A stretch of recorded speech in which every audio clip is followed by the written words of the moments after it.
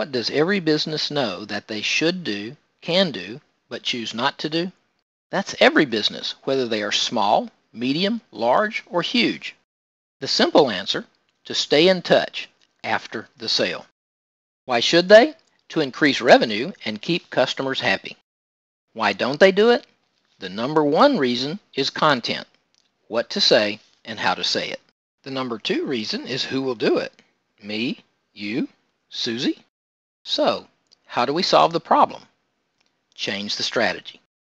From the typical strategy of saying, my product is great and this is why you need it, to a new strategy which focuses on your customer's interests. But it's hard to write about oneself. So let someone else help you with this new strategy. Let them find, develop, and deliver content on topics that interest your customers, such as home and family, health and wellness, and fun and funky. So what's involved? Here's a brief overview in 20 seconds. A stay in touch engine is set up for your business.